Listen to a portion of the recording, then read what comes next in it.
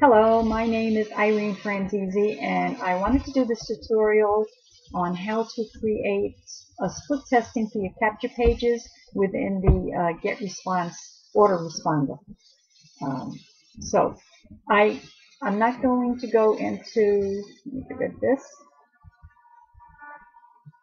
Um, I'm not going to go into showing you how I created this capture page uh, because that's for another tutorial. But this is a capture page that I just uh, created. And if you notice up in here it says variant A. This is the first capture page that I have created.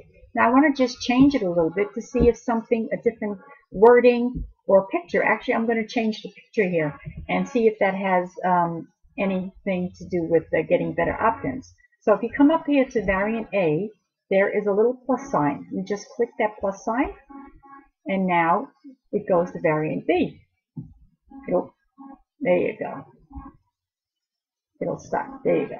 Now, I want to change this picture, so I just press replace, and it'll bring up my pictures.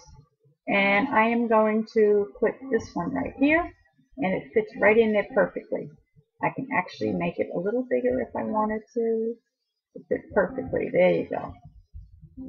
So now that's variant B. The wording, everything is the same, but I, I, I used a different picture.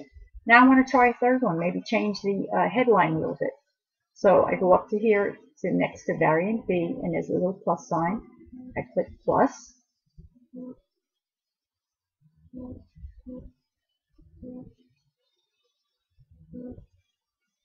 Great. Now this is C. Now um, I'm going to change the headline a little bit. I'm going to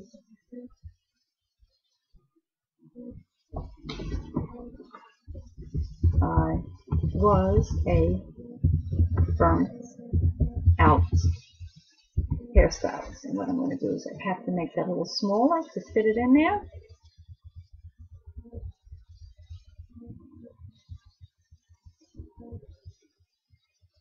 Okay, now what I want to do is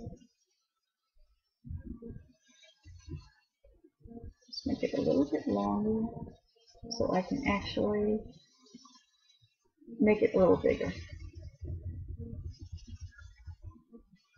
There you go.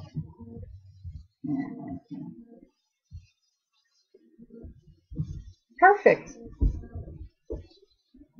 Now I have three different variations. This is A. I am a hairstylist with this picture. This is B. I have everything the same, but I just changed the uh, photo. And then C. I kept the photo and I changed the headline a little bit. So now you can go through this whole uh, setup, but all I'm going to do is save and exit.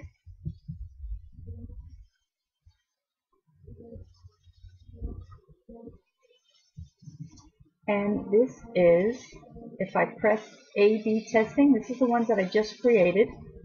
Let's see, it gives me a link. If I click on this A-B testing, it shows the three different variations. And so when people start clicking, you'll see how many visitors you get and how many subscribers you get. And all according to, you know, um, if you get one that is doing better than the others, that's where you go in and either turn it off.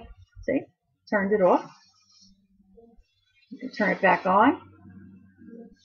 Or if this is really the best one, just click publish as the winner and it'll keep that one as your main uh, capture page. So uh, that's really it for now. I hope that this has uh, helped. Uh, if you uh, need any, um, um, if you want to ask me questions about this, you can connect with me on my Facebook fan page at um, facebook.com forward slash I live to be free. So that's facebook.com forward slash I live to, that's the number two, I live to be free. And you can send me a, a, a message and I'll get back to you. And I hope this is very helpful, and I will see you on the next tutorial.